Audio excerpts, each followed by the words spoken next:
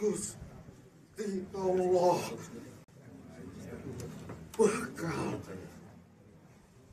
Paring ijabah Amin, amin, amin, amin, selamat. Amin. selamat kabeh.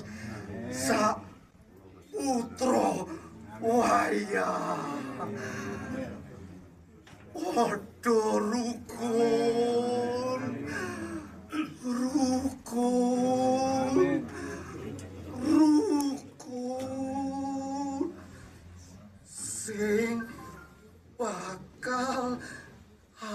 agawe sentosa.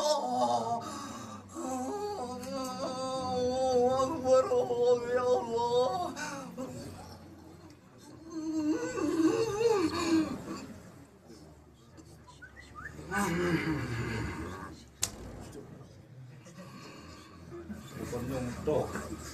Ojo Odo hadigang hadigung lan hadigulo ora ana sing bisa ngunjuli Gusti Allah.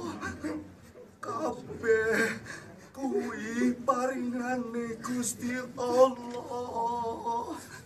Kabeh kuwi bakal arep marah ing ngarsa Gusti Allah sing padha rukun